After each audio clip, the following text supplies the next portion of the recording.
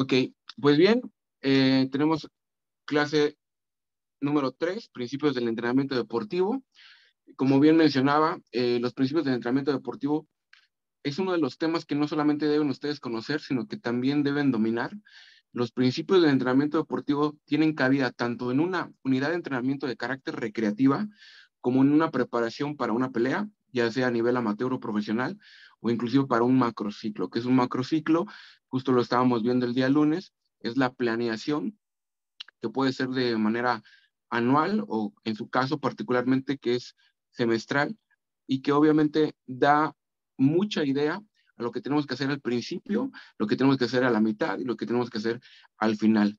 Dentro de los principios vamos a encontrar los principios biológicos y pedagógicos, pero bueno, eso ya más a profundidad. Ahorita vamos a ver lo que es el concepto de principios del entrenamiento. Como tal, son reglas de validez genérica por las que se rige el proceso de entrenamiento garantizando su correcta dirección y aplicación. ¿Qué significa? Que estos principios van a operar en cualquier disciplina en el ámbito deportivo y que obviamente van a tener una, eh, van a tener una validación porque esto ya es de estadística, gente que se ha dedicado a años de estudio, de investigación en lo que tiene que ver con el entrenamiento deportivo y las ciencias aplicadas, se han dado cuenta que este tipo eh, de, preceptos ayudan mucho a la formación tanto, tanto deportiva como de manera cronológica y de manera progresiva. Asimismo, estos conceptos tienen cabida en cuestiones de enseñanza y aprendizaje, por eso decían pedagógica, y tienen también cabida en la parte metabólica, que tiene que ver justamente con esto, que es el mejoramiento de las capacidades, el mejoramiento del VO2 max, todo lo que no vemos, que es la carga biológica, tiene que ver con ello también. Entonces, estos principios del entrenamiento son operantes, como menciono, en cualquier disciplina y en cualquier momento deportivo, ya sea de un atleta de alto rendimiento o alguien que simplemente quiere mejorar su composición corporal. Como mencionábamos también, la clasificación se subdivide en biológicos y pedagógicos.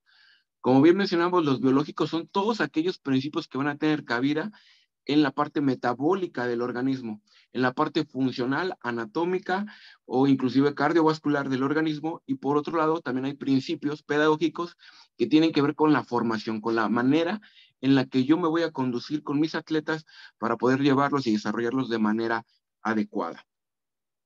Dentro de los principios biológicos vamos a encontrar el principio de la unidad funcional. Ahorita vamos a ir desglosando cada uno, te los voy a mencionar nada más. Principio de la unidad funcional, ahí por favor vayan apuntando. Principio de la multilateralidad, principio de la especificidad, principio de la sobrecarga, principio de la supercompensación, principio de la que es esta parte de la progresión, principio de los retornos en disminución, principio de la recuperación, que ojo, no es lo mismo que supercompensación, y principio de la individualidad, por mencionar algunos. A mí me gustaría añadir también el principio de variabilidad, que se va muy de la mano con, con el entrenador que está formando infantiles o niños, o aquel entrenador que se dedica al ramo, por ejemplo, entrenamientos personalizados o inclusive clases grupales que tiene, que tiene mucho que ver no tanto con la parte competitiva, sino con la parte de dinamismo, con la parte de poder atender los diversos objetivos, pero con diferentes contenidos, con diferentes ejercicios. Vaya, que la clase sea dinámica y que sea divertida. Ese sería el principio de variabilidad. Pero bueno, vamos a encontrar el principio de la unidad funcional, eh, en donde, bueno, dice, el organismo funciona como un todo operante integrado ante los estímulos externos. Los estímulos externos son todos los contenidos que nosotros como entrenadores ponemos. Eh, un round de manoplas o 400 metros eh, salir a correr o lagartijas. Todos esos estímulos externos van a tener una eh, una manifestación biológica. Si hacemos lagartijas, pues obviamente vamos a tener una adaptación motriz a ese ejercicio, pero que también vamos a tener un aumento de las miofibrillas musculares, teniendo como resultado la fuerza. Entonces sería un estímulo externo, pero que de manera em, biológica tiene una manifestación de carácter metabólico o interno, y, y, es este, y eso es lo que habla este principio. El estímulo repercute en todos los sistemas funcionales. Si yo salgo a correr, es por eso que yo les decía que nosotros como entrenadores no podemos clasificar los ejercicios. Ah, ok, pues mira, sal a correr porque, eh, porque bueno, básicamente por salir a correr voy a, voy a utilizar la grasa como, eh, como sistema energético predominante, o salgo a correr porque estoy apenas empezando, o salgo a correr porque voy a calentar. De repente clasificar los ejercicios e, es muy peligroso, porque cada organismo, y ahí vendría el principio de individualidad, cada organismo eh, es, diferente. Entonces, si ponemos un ejemplo, alguien que, que nunca ha tomado una clase o que nunca ha entrenado y empieza a entrenar, con alguien que ya ha entrenado, aunque sea otra disciplina, pero que ha entrenado y que ha estado activo, probablemente salir a correr para el que ha estado activo, pues sí, funja como un calentamiento, porque no le va a generar mucho estímulo, no le va a generar mayor complejidad y, obvia y obviamente eh, lo va a poder realizar sin ningún problema. Pero sin embargo, aquella persona que era sedentaria y que era su primera, es su primera clase y lo mandas a correr, pues tú ten por seguro que te va a dar lo mejor que tiene, energéticamente hablando, en los primeros, ¿qué te gusta? 10 minutos. Y probablemente para él haya sido una carga extenuante, como, y para el otro fue simplemente calentamiento. Entonces, de repente, hay que tener en cuenta eh, esta, esta cuestión de no clasificar o no etiquetar los ejercicios como tal. En cuanto al principio de la multilateralidad, Em, dice, para lograr óptimos resultados en las primeras etapas del entrenamiento deportivo, debe de predominar un trabajo general y polifacético, dejando para etapas venideras el trabajo específico. El principio de multilateralidad tiene que ver mucho con la parte del desarrollo en los infantes. Eh, está constituido por tomar de diversas disciplinas o de diversas dinámicas los beneficios para que el día de mañana puedas tú canalizarlo a lo específico. Eh, en un ejemplo más, más claro, de repente dicen los papás, bueno, tengo un niño de 8 o 9 años, eh, eh, eh, ¿ya puede boxear? Bueno, ok, sí puede, puede boxear, pero lo ideal sería que atendiendo el principio de la multilateralidad, realice otras actividades con la única intención de que, por ejemplo, tenga, si hace fútbol, pues que tenga esta coordinación y esta fuerza en las piernas, si hace, por ejemplo, baile, mejor en su coordinación y en el ritmo y en, la, y en, y en este, a lo mejor en los, en el trabajo de reacción, si hace cualquier otra dinámica, va a sumar a su desarrollo motriz y que el día de mañana cuando él diga, oye, sabe que sí quiero ser boxeador, él pueda decir, bueno, perfecto, no hay problema, te desarrollamos de una manera tan integral, de una manera tan equilibrada que puede ser boxeador, nadador, futbolista, basquetbolista, porque se desarrolló de manera, de manera correcta toda la parte motriz. Sin embargo, si el día de mañana desea ser eh, boxeador, vamos a tomar los beneficios de cada una de las eh, diferentes em, disciplinas en donde tuviste participación para ser un boxeador más equilibrado y que obviamente me va, me va a funcionar. También estaba el ejemplo del portero, ¿no? Aquel, aquel joven que todo el tiempo fue portero y de repente se desarrolla y aprende más rápido en el boxeo. ¿Por qué? Pues porque tiene un predominio, una capacidad cognitiva hacia sus extremidades y que obviamente se ve beneficiado de haber sido portero, por así decirlo, ahora en el boxeo. Es un ejemplo nada más. Después tenemos el principio de la especificidad. Evidentemente, eh, platicábamos el día lunes acerca del, del, concepto, ¿no? De lo general y específico, y qué bueno que lo general, digo, perdón que sea tan reiterativo, pero me quiero que quede claro el hecho de tomar en, eh, estas, estos dos vocablos general va a tender siempre a, todo lo que puede ser aplicable en cualquier disciplina. Y cuando hablamos de especificidad, ya estamos hablando justamente en nuestro rubro y en nuestro caso en el boxeo. Entonces, el principio de la especificidad se, se complementa con el anterior principio, el de multilateralidad, en rendimiento en una actividad concreta. Es más elevado mediante un trabajo específico, mejorar, eh, mejora de la resistencia nadando o corriendo. Entonces, fíjate, voy a salir a trotar, pero ¿por qué tengo que salir a trotar si no soy corredor, no soy, no soy este, de atletismo? ¿Por qué un boxeador tiene que salir a correr? Ah, bueno, perfecto. Primera parte, por las cuestiones biológicas, los beneficios biológicos que nos da el salir a trotar. Una mejora de la capacidad del, consumo máximo de oxígeno sería la primera. Segunda, eh, una mejora también a nivel mitocondrial y este famoso ejemplo del que hemos hablado siempre, de que si somos un carro, el tanque de gasolina tiene que ser amplio justamente para poder hacer diferentes arrancones o diferentes acelerones sin gastar toda nuestra energía.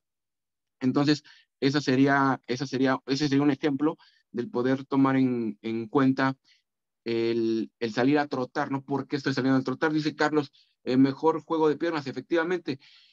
Si atendemos a la especificidad, justamente hablando de este principio, en donde sabemos perfectamente que el boxeo es de una cadena cinética abierta, en donde voy a involucrar diferentes grupos musculares, en donde voy a em, transferir la energía desde la punta del pie hasta el nudillo más prominente. Esa es una cadena cinética voy a transferir la energía. Entonces, a mí me interesa como entrenador que mi boxeador tenga un buen juego de piernas, tenga fortaleza en las mismas y que evidentemente podamos migrar de manera positiva el ejercicio que, hizo como salir a trotar al boxeo. Por eso también es importante saber qué sí y qué no ponerle al boxeador.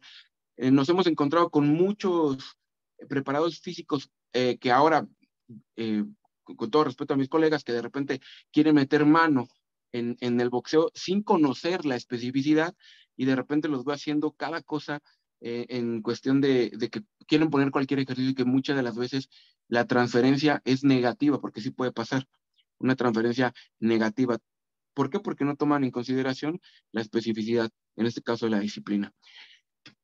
Vamos a hablar de otro principio, que es el de la sobrecarga este principio también se da mucho en el boxeo, porque de repente el entrenador tiene muy arraigado que, ok, me avisan que ya va a pelear, eh, o yo, me, yo sé que ya va a pelear, y empiezo a meter cargas de manera indiscriminada, porque tengo esta falsa idea de que entre más chinga le ponga yo al boxeador, mejor preparado va a llegar a su, a su pelea, y eso es totalmente errado.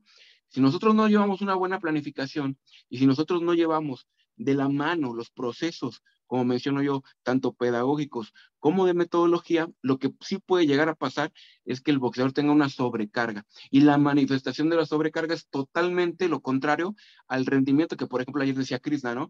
Es el rendimiento deportivo, claro, trabajamos para que mejore su rendimiento, pero sí sabías que si yo no me, si yo no regulo y controlo las cargas, lo que puede pasar es lo contrario, o sea, mermar totalmente el rendimiento, generar una acidosis, generar una fatiga muscular. Justamente esto se refiere a este principio. La adaptación no solo se produce si el estímulo es suficientemente intenso como para incitar las funciones de adaptación, se relaciona con la ley del umbral. También va a pasar que si en un momento dado yo no controlo las cargas y en vez de subir las mantengo o al contrario, las disminuyo, las cargas de entrenamiento, entonces evidentemente el rendimiento en vez de subir va a bajar. Ese es inminente. Así como el hecho de poner una sobrecarga voy a generar una fatiga muscular, también el hecho de no hacer una carga adecuada o que esta carga esté por muy, muy por debajo del estímulo que tú necesitas, pues no vas a mejorar el rendimiento. Vamos a poner un ejemplo. Cuando ustedes llegaron con, con, con nosotros, el, ustedes hicieron pruebas físicas y ustedes dieron unos parámetros, ¿no? 10, 15, 20, 30 lagartijas, por poner un ejemplo. Que no hubiéramos hecho nada, que estuviéramos platicando, que nos contáramos nuestra vida, que estuviéramos jugando frontón. Evidentemente, el día que hiciéramos otras pruebas físicas, no iba a haber una mejora. Y si continuáramos así, o sea, sin hacer nada, no solamente no iba a haber una mejora, sino que muy propiamente íbamos a ir también en el retroceso. Entonces, por eso que debemos saber manejar bien las cargas. Vamos a ver, el chat dice, mm, dice Carlos que el explote que venga cansado, el rendimiento será menos claro. Si yo llego cansado a entrenar, si yo llego literal, o sea, llego yo cansado y no estoy regulando la, la recuperación, vuelvo a lo mismo. En vez de ir mejorando, voy a ir para atrás, porque lo que tú me vas a pedir como entrenador que yo haga de manera intensa o de manera precisa, no voy a poder, no voy a poder completar ese objetivo. Y entonces, en vez de subir de nivel, voy a ir bajando. Entonces, el principio de sobrecarga es muy común en el boxeo, precisamente por, eh, por, por, las competencias que se pueden, que en el boxeo profesional se da mucho, que te avisan hasta 15, 20 días antes, si no me creen, pregúntenle al, profe Venado, no sé si está aquí en, en, el, chat, pero a le han avisado de peleas, o sea, una semana antes, ¿no? Por, por, por, poner un ejemplo. Y en el boxeo amateur, ahí a lo mejor no te avisan porque ahí tú vas pero en el boxeo amateur, cada ocho días hay, hay funciones, hay peleas de fogueo, hay torneos. Entonces, pues muchas de las veces el entrenador te está constantemente eh, eh, peleando, compitiendo y, no, da, no da lugar a la recuperación. Que ojo, vuelvo a lo mismo, la recuperación no es lo mismo que supercompensación, pero ahorita vamos a entrar de lleno a ese, a ese principio. Vamos con el siguiente principio.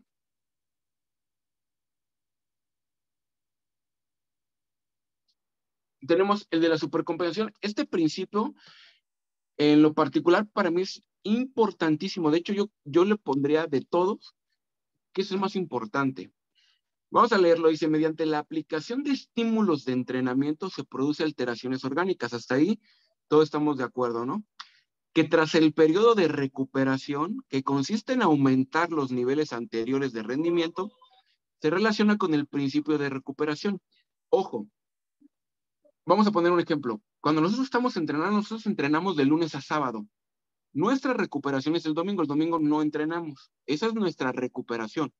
También tenemos recuperación dentro de la unidad de entrenamiento. Entre cada round que tenemos un minuto de recuperación. Eso no es supercompensación, eso es solamente recuperación. Ok. Eh, dentro de la unidad de entrenamiento, el minuto de recuperación entre cada round. En cada semana, entre cada semana, el domingo sería nuestro momento de recuperación. Pero hay un momento, hay un momento que se le denomina supercompensación, en donde la intención principal es bajar los estímulos para que el organismo se adapte, pero sobre todo, o sea, que toda la carga que tú ya le has puesto con el entrenamiento, el organismo lo asimile, se recupere con la finalidad de pasar al siguiente nivel. O sea, eso es por, por lo que se debe considerar la supercompensación. En la grafiquita que viene aquí, si te das cuenta del lado izquierdo, dice rendimiento, en la parte derecha vemos la primera que es estímulo, el estímulo, o sea, el, el, contenido, ¿no? El round, de, el round de sombra, el round de manopla, el round de gobernadora, el round en el costal, el estímulo. Aquí viene la parte del estrés. Obviamente habla de un estrés metabólico y de un estrés muscular y que evidentemente está muy cerca de que si tú continúas se haga presente la fatiga. Ahí está clarísimo. Más sin embargo, lo que yo voy a buscar es sí, hacer el estímulo, evidentemente estresar al organismo y posteriormente hacer una recuperación, pero esta recuperación puede ser de uno hasta cuatro días. Por eso te digo, no es lo mismo el domingo de recuperación que tú consideres un microciclo en donde haya una supercompensación, en donde yo baje las cargas y obviamente busque por medio de la, la sobrecompensación o supercompensación subir el nivel. ¿Para qué? Para que el siguiente estímulo que, que haya eh, que exista en el entrenamiento sea, con, sea mayor, sea más complejo, tanto de carácter cognitivo, o sea, que sea más complejo, que me cueste más trabajo resolverlo, como también de carácter físico. Si estoy haciendo lagartijas, pues ahora voy a hacerlas con peso, o ahora voy a hacer eh, press en banca, ahora voy a utilizar una barra, ahora voy a utilizar un disco de 20, ahora un disco de 10, ¿sabes? Cada vez tienes que ir subiendo. Igual dice que se adapta a un ritmo y un rendimiento, creo que viene más aquí. Efectivamente, lo que vamos a buscar es que se vaya adaptando, pero esta adaptación, ojo con este dato, la adaptación tiene que ser solamente de carácter motriz. A nivel biológico, a nivel em, eh, de sistemas energéticos, yo, yo debo de tener muy en consideración que siempre va a haber un aumento. Nunca voy a poder estar, eh, ¿cómo, se, ¿cómo se dice? O sea, nunca me voy a poder adaptar, o más bien no quiero adaptarme a simplemente hacer 20 lagartijas. No, ya tengo la técnica, ya me adapté motrizmente a cómo se ejecuta la técnica de ejecución, pero lo que yo quiero es cada vez hacer más y cada vez hacerla más compleja. Si yo la hacía antes este, con los codos pegados, ahora la hago en diamante, después la puedo hacer con peso, después puedo pasarla y hacerla este, declinado. Y cada vez hacerlo más complejo y justamente esta adaptación tiene que ir el aumento con la única finalidad de el performance, ¿verdad? Continuamos.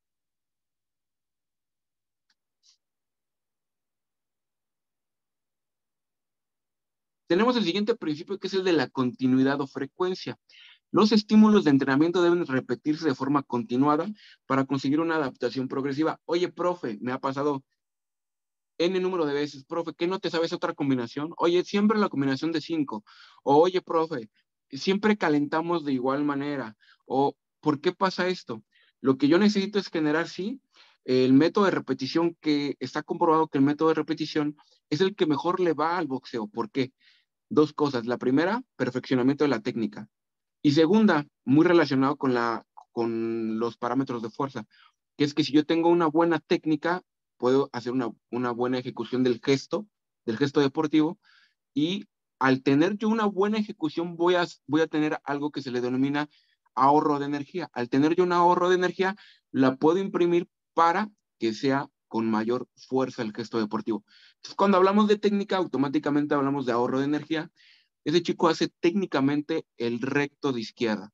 ¿Qué significa? Que no está haciendo movimientos em, eh, que, que, vaya, movimientos que no vayan eh, a favor de, significa que no estoy gastando energía en algo que no me va a servir. vamos a poner un ejemplo. Eh, cuando, cuando estamos en la posición de guardia, de repente pasa que si yo tengo las manos eh, semiabiertas, yo ahí estoy ahorrando energía, aunque no lo creas, aunque yo estoy, o sea, estoy ahorrando energía, pero ¿qué pasa si yo la cierro y todo el tiempo estoy con los puños cerrados aquí? Esto me va a mermar. Entonces yo tengo que saber en qué momento, inclusive la misma metodología lo dice, tengo la mano semiabierta, cuando yo ejecuto, en ese momento cierro. ¿Qué complejidad debo de tener? ¿Qué complejidad es la ejecución del golpe recto de mano adelantada? ¿Qué es el primer gesto que aprendemos? ¿Qué complejo es? Que la misma metodología me lo dice, mira, vas a tener la mano semiabierta y cuando ejecutas sobre el desarrollo del gesto, cierras el puño. El nivel de complejidad motriz es muy alto. Entonces, cuando hablamos de técnica, hablamos de ahorro de energía. Cuando nosotros tenemos una continuidad, ¿con qué frecuencia entrenas? Oye, profe, me decía un alumno, profe, yo soy disciplinado porque vengo diario. Ah, no, pues, de que vienes diario, vienes diario, pero no vienes, o sea, diario no entrenas. Un día vienes y platicas, otro tanto, otro día medio entrenas, otro día eh, estás echando novio. Vienes diario, sí, al gimnasio llegas aquí, pero no tienes una continuidad entre entrenamiento. Es que, profe, ya todos han mejorado en su fuerza. Ya ves, este fulanito que era nuevo, ya lo hace mejor, ya está más fuerte, está más rápido. Es más, ya hasta va a hacer sparring. Y yo, ¿por qué no? ¿Por qué yo no he mejorado? ¿Por qué me siento estancado? ¿Has, te, has, ¿Te has cuestionado la continuidad de la frecuencia con la que llevas tu planeación? Entonces, a eso se refiere el hecho de tener adaptaciones específicas a gestos eh, eh, deportivos como son los golpes fundamentales y que evidentemente el hecho de que yo los haga continuamente me va a ayudar a perfeccionar la técnica. Vamos ahora a ir con otro, otro de los, este, a ver, me tengo aquí en el chat, dice, okay, dice, ¿por qué es un método de repetición? Porque entre más lo repitas, más más en tu alcance de mejora como la repetición nace. De hecho, sí, o sea, como bien lo mencionamos, el hecho de que tú lo estés repitiendo, voy a citar como dijo Krishna, ¿no? El día lunes. Krishna ha andado muy atinado últimamente, me da gusto. Ella dijo, el hecho, eh, voy, lo hago de manera constante para generar una habilidad, o sea, lo hago, lo hago, em, genero de un, de un hábito, lo, que, lo hago una habilidad, ¿no? Y esto tiene mucho que ver justamente con el método de repetición perfeccionamiento. Así es, Carlos. Ok, siguiente principio de entrenamiento. Vamos bien en tiempo, perfecto. Principio de entrenamiento tenemos el, el, el del crecimiento o aumento paulatino del esfuerzo, que tiene que ver con la progresión. Y este dice, el incremento gradual y progresivo de las cargas logra mejorar la posibilidad orgánica del entrenamiento y, por tanto, el rendimiento deportivo. No puede ser que tú llegues y tu primer día, y lo digo con todo respeto porque sé que sí pasa, llegas tu primer día y pum, te suben a hacer sparring. O sea, a lo, a lo que truje chencha, ¿no? Y no puede ser así, tiene que ir de manera progresiva. Ese es un ejemplo. Otro, otro ejemplo es, otro ejemplo es el de que cuando llegan, inmediatamente los ponen a hacer lo mismo que hacen los que ya inclusive son profesionales. A mí, yo he visto, yo he visto en gimnasios en que llega uno nuevo, se inscribe, o sea, literal, se está inscribiendo. Ah, sí, mira, está, ya, ya empezó la clase de las 11. Entra y el entrenador, ah, te integras, haces esto. Tus tres rounds de cuerda, tus ocho rounds de costales, tus dos rounds de escuela de combate. Oye, pero soy nuevo, es mi primer. Ah, sí, medio lo orientan y sin, sin pensar siquiera que evidentemente hay un, hay un principio que obedece a esta parte que es que va siendo cada vez eh, de manera paulatina y progresiva, tanto el esfuerzo y cuando nos hablamos del esfuerzo tiene que ser eh, de carácter, como yo mencionaba, cognitivo, o sea, que me genere una complejidad al poder resolverlo o en su defecto que sea de esfuerzo, ¿no? Entonces, esta parte es importante que cada vez que yo vaya a mis entrenamientos, cada vez me vaya exigiendo más con la finalidad de llegar a un, a un nivel óptimo. Porque el movimiento mecánico es un movimiento natural, o que igual estábamos cuando estábamos hablando de, mm, quiero pensar que era cuando estábamos hablando de lo de la técnica, ¿verdad? Entonces, bueno, creo que este, este principio que es muy claro, muy, muy claro y, bien, a ver, déjame ver en qué diapositiva voy, porque también igual nos, nos quedan unos pocos minutos, nos vamos a ver a conectar. Em, vamos a quedarnos tantito en este. Si tienen alguna duda, eh, sin problema pueden activar su micrófono. Eh, sin, igual, si no, también por medio del chat pueden, pueden poner las dudas que, lleguen a tener. Realmente eh, los principios del entrenamiento, te repito, son para facilitarte la, vida tanto al atleta, obviamente, pero más al entrenador. La realidad es que más al entrenador.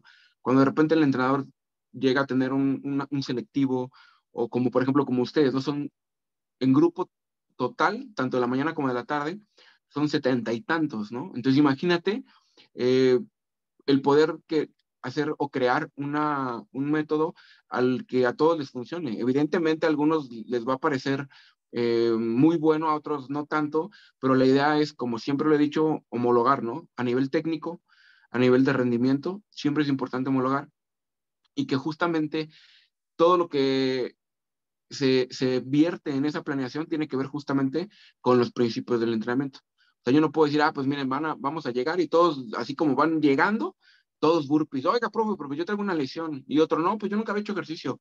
Otro me dice, no, pues ¿qué cree que yo no sé ni cómo se hacen, ¿no? Yo vengo de, de otra disciplina. Híjole, pues me vale, ¿no? Todos hacer y hacemos 100. El típico 100 abdominales al finalizar, también era un clásico, ¿no? Sin tomar en cuenta, pues, obviamente los principios. No hay, no hay ninguna pregunta, entonces yo voy a preguntar. Em, a ver, vamos, bueno, Carlos sí está participando, déjame ver si, si manifiesta algo ahí en el chat, ¿no? Ya se salió alguien y dijo que iba a preguntar y se salió. Ok, a ver, vamos a preguntarle al buen Guillermo. ¿Sí puedes activar tu micrófono, Guillermo?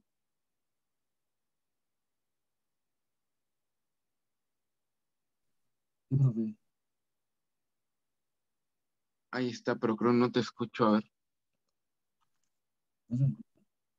Ok, a ver, Guillermo. De ahorita de los principios que vimos, eh, atendimos que los principios de entrenamiento se subdividen en dos. ¿Cuál y cuáles son? Principio biológico pedagógicos, ¿no? A ver, ¿me lo repites, por favor? Biológico y Ajá.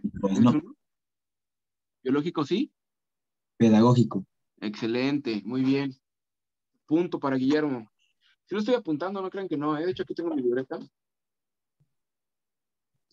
Vamos a ponerle participación. Así si te va mal en el examen, pues te hago valer, ¿no? Claro, vamos, a preguntarle, Carlos ha estado participando, también él tiene participación. Vamos a preguntarle al buen Max. Al buen Max. A ver, Max, activa tu, tu micro, porfa. Eh, hablamos el... Bueno, ¿me podrías decir qué entiendes por principio del entrenamiento? El concepto como tal de principio del entrenamiento?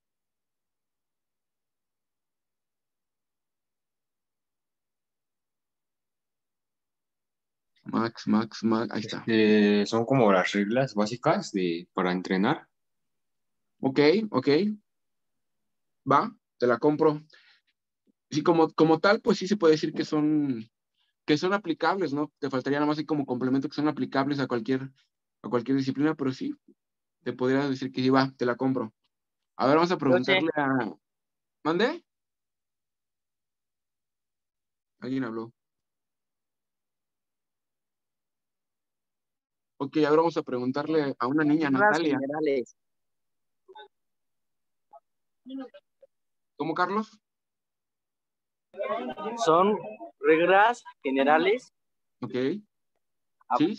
en el entrenamiento eso yo lo dije. ¿Qué más, Estrella? ¿Participaste, Estrella? No me di cuenta, a ver. Ok, No. sí, cierto, Estrella. Son como las reglas generales, sí, efectivamente. O sea, grosso modo así es. O sea, son, es como, como tener una receta, ¿sabes? O sea, una receta, ¿cómo hago un pastel? Ya hay ciertos pasos que tú tienes que contemplar. Oye, pero yo lo quiero hacer de tres leches, no, yo lo quiero hacer de chocolate, no, que yo, el imposible. Ok, la base, la base, la manera probablemente sea muy similar. Ya tú le vas a poner tu esencia, tú ya le vas a poner tu toque, tu estilo, pero justamente no tiene que ver con, con el hecho de que, de que son las, la, base, ¿no? Las, las, las, como bien mencionan, las reglas eh, generales, por, por, por decirlo de alguna manera coloquial. Eh, una pregunta más, a Natalia le quería preguntar, el principio, a ver, déjame, déjame regresar tantito. En el principio de, mm, ok, principio de multilateralidad, ¿qué es, cuál me podrías decir eh, los generales del principio de multilateralidad, Natalia? No estoy seguro que me esté escuchando Natalia. Espero que sí. Para lograr múltiples resultados en el entrenamiento. Sí, pero falta ver, Neidan. Apóyalo, complementala, por favor. Es eso mismo, pero las etapas de entrenamiento, ¿no? ajá, las Sí. primeras etapas del entrenamiento deportivo. Exacto. Sí, sí. Pero multilateralidad, a ver, vamos a dar la oportunidad a Krishna. Va- van bien, van bien. A ver, Krishna, y si no, ahorita la complementamos. Mm, Bueno, lo que te- le entendí es como el desarrollo, pues sí, cuando desarrollas tú tus habilidades y capacidades, ¿no? Del entrenamiento. Sí, todos bien, pero les falta un dato bien importante. Eh, multi, muchos. Entonces, yo voy a tomar lo, lo, lo que me puede brindar el salir a correr para la disciplina. Voy a tomar lo que me puede brindar hacer fútbol, por ponerlo algo, por poner un ejemplo, para la disciplina. A lo mejor ustedes que les gusta el frontón, eh, el hecho de que tengan estos estímulos eh, con, con la palma, pues probablemente les hagan unas, les hagan, les haga a ustedes un, un- una mejor transferencia el día de mañana cuando tienen un golpe curvo, por poner un ejemplo. O sea, estoy tratando de ser eh, muy, muy, muy básico, pero por ahí iría, ahí iría el, el tema. Multilateralidad tiene que ver con mucho, con lo que yo haga, no necesariamente de boxeo, pero que puede sumar de manera positiva a la disciplina. Entonces, obviamente todo lo que dijeron sí, más eso. Eh, queda un minuto. A ver, va una, una última, una última. Vamos a preguntarle. Estrella ya participó. Carlos está increíble el hombre. A ver, vamos con Neidan también. Max. Guillermo, no, pues ya creo todos. Pero bueno, ver una más y a quien guste este, participar. Em, hablé al principio del, de, ahora sí que hablé al principio de el principio de variabilidad, que yo mencioné que ese principio es muy bueno para eh, entrenadores personalizados o grupales. ¿Por qué? ¿En qué consta el principio de variabilidad? Si se corta, nos volvemos a, a- a conectar, por favor.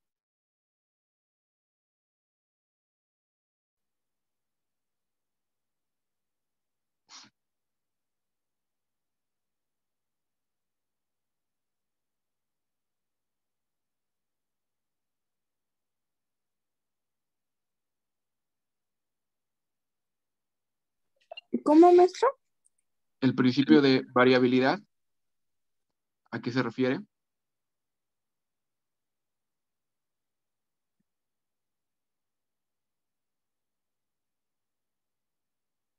Ese no venía en la presentación, ese